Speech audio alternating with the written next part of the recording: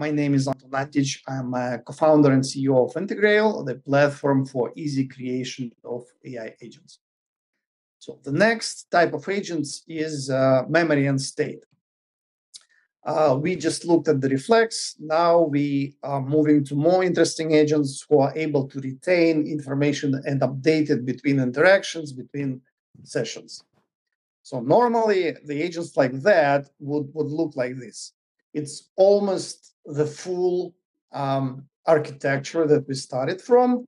The main difference is that we are updating short-term memory but we are not really updating long-term memory because updating long-term memory from the agent, it's kind of a learning feature, so we are not including it here. But updating short-term memory is very important and it opens up lots of additional possibilities. So uh, yeah, before we get to those possibilities, let's just discuss building um, an uh, also another sort of basic agent which uses chat history. Because previous agents that we looked at they have no history. Let me just demonstrate it real quick. There was this simplest agent that we have that has no rag and has no understanding of history. Let's ask it about somebody famous uh, i don't know who is hemingway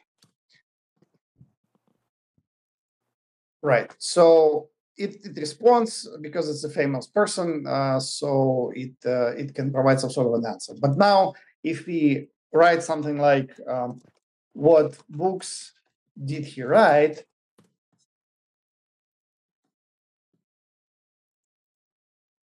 We will see that it has no notion of context. It doesn't know what we just discussed. Uh, it has no idea that we asked about Ernest Hemingway and it starts talking about who is here. We're talking about Shakespeare, blah, blah, blah. So let's remedy this. We definitely want our agents to be able to understand the, the chat history. So let's go to the next demo, which is number, number, number seven. So to do the chat is actually quite easy. Uh, the two changes we need to make well, let's actually build it from scratch because it's a pretty important uh, change.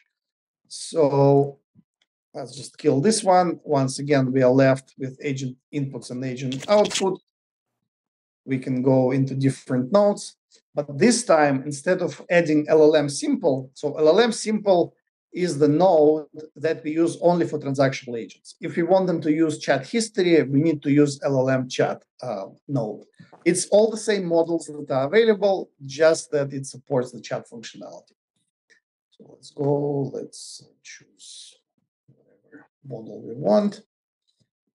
Um, but then uh, to connect it, if we try to connect user prompt, we cannot. It can only go to system prompt, but this expects messages. We can't really connect it. So we need another box which actually deals with chat history. This is the node that is called unimaginatively exactly that, chat history. So the way to create an agent that understands history is just connecting user prompt to user prompt and then messages to messages and then output to output. That's it. Again, in 30 seconds, we have created an agent that supports um, chat. So let's let's move to the one I have pre-created because it also has RAG functionality and it's a bit more fun. Uh, where is it? So yeah, that's that's the one. So again, it's the same architecture. It has chat history, it has an LLM, and it has additionally vector search connected so that it can uh, provide uh, some context when interacting with us.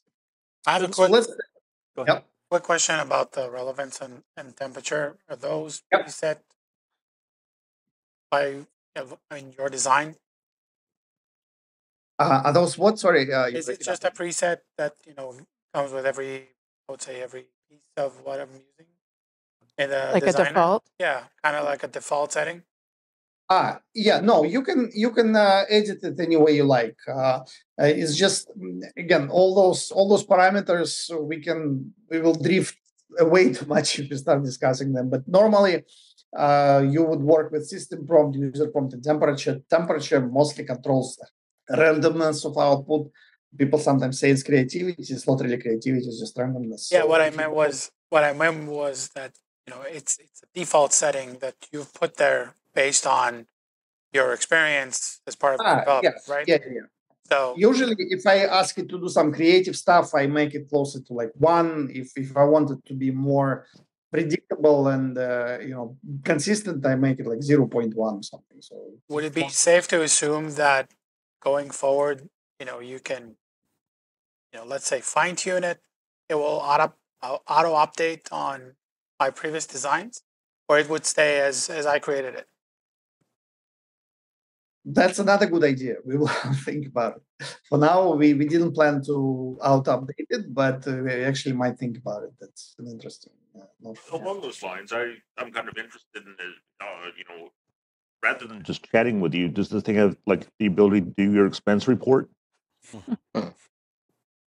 Uh, so, sorry, I also missed the part of uh, Uh, do, instead of just chatting with you, would this thing have the capability to do your expense report? Ah, yeah, yeah, yeah. No, actually, uh, that's it's just uh, sorry. Sometimes I get carried away, but what the LLMs are very good at is transforming one structure of text into another. So basically, if you just need to convert from one format to another, and in a sense, expense report is just uh, you know gathering all kinds of data from your uh, slips or whatever, and then producing them in a specific format. They are very good at it, and uh, it's uh, Would it be correct? Yeah. Details. So, uh, Anton, in this in this situation, shouldn't chat history be tied to the chat output somehow, or or shouldn't shouldn't there be a feedback loop here into chat history? Yeah, it The- works on the. Yeah, it's. Uh, Where is that in this chart? Well, it's not really shown. It's uh, under the hood. It's it's another collection on the database. So we just update the history as we go. So as you add conversations, it adds to the history. Are you saying there's another process outside of this one that updates the chat history? Is that what you meant? Yes, it's Okay. uh, actually it's just this button here that says save in the Oh, history. save So in Yeah. If you want to save it, it will save it. If you don't want to save it, it won't save it. So again, let's test it real quick to see that it works. Uh, chat with vector RAG. So let's ask it the same question um, with Ernest Hemingway. So it responds that it was an American novelist. Uh, so once again, let's test. it. Let's say, what is his book that you recommend I read first? So once again, we are using his. Uh, the agent that has no context wouldn't be able to answer. Let's see. So of course, this one has the context, so it responds. The great way to start is old man and the sea, blah blah blah. So we have created an agent that has the basic state, which is our chat history. But that's sort of the most boring and basic way. Let's let's move forward and add a bit more functionality here. So uh, a very contrived example, but we can make it as complicated as we want. Uh, it's called questionary builder. Uh, let's move to the designer. And here we will demonstrate not just chat, but also updating of the uh, of the of the short-term memory. It? Here it is, questionary builder. So it has quite a bunch more boxes, but at the same time, it does the updating explicitly, uh, what you have just asked for. So what we have, we have a node that's called session. And session is a node that's being saved between interactions, and we can update it any way we like. So the way this agent is set up is quite uh, interesting. Let us spend some time here. So we are saying we are giving a goal to this agent. We are saying that your goal is to talk to the user and find out the full information: user's name, user's date of birth, user's place of birth, user's hobby. But of course, this can be any types of questions that you want to find out. So any Like type of user's password or something like that. Login and password ID, authentication, credentials, things of that nature, bank account numbers. you Um, the safety of AI is a separate big topic. Um, so then we are giving some more additional directions. We're basically saying, okay, you have to find out that information any way you need. And then once you have find out, you have to say, ha ha ha, here is everything I know about.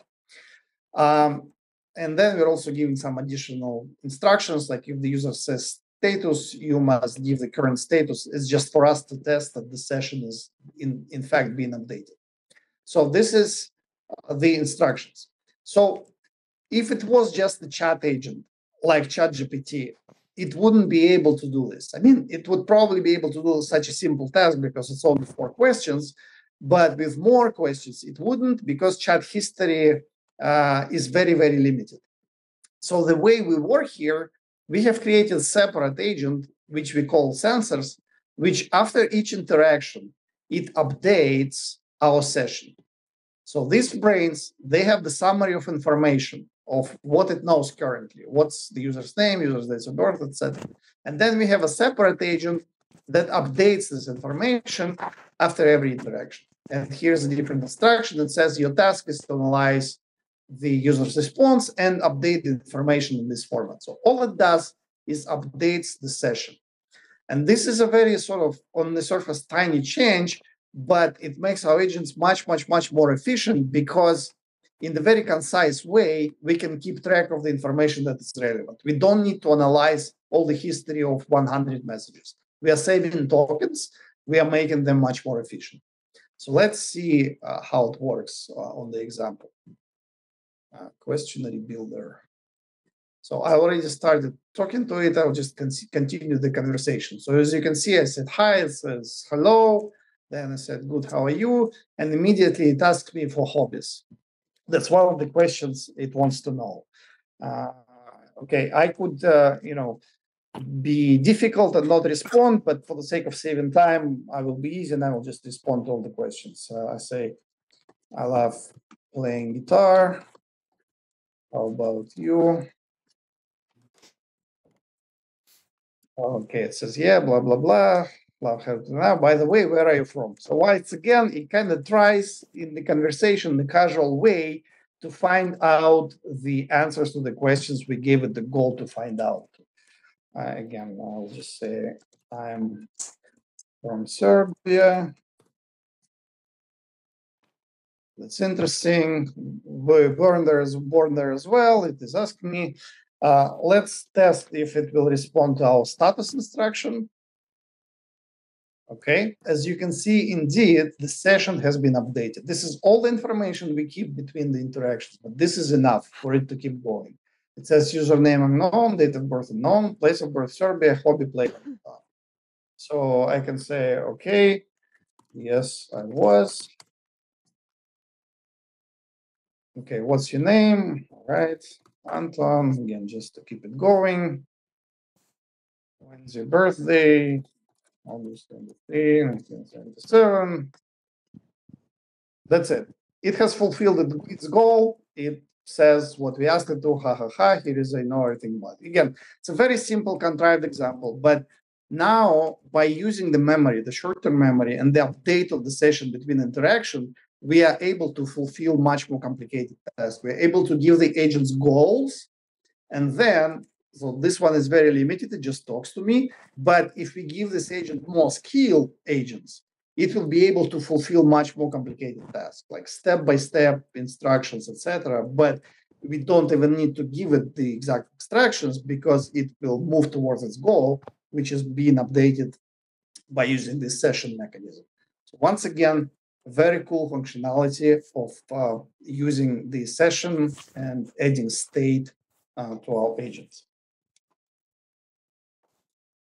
So,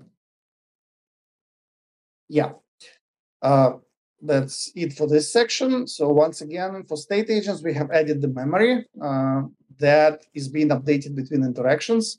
And this way, these agents can handle much more complexity. Basically, virtually any multi-step process where we are able to set some goals, we will be able to achieve by creating agents like this.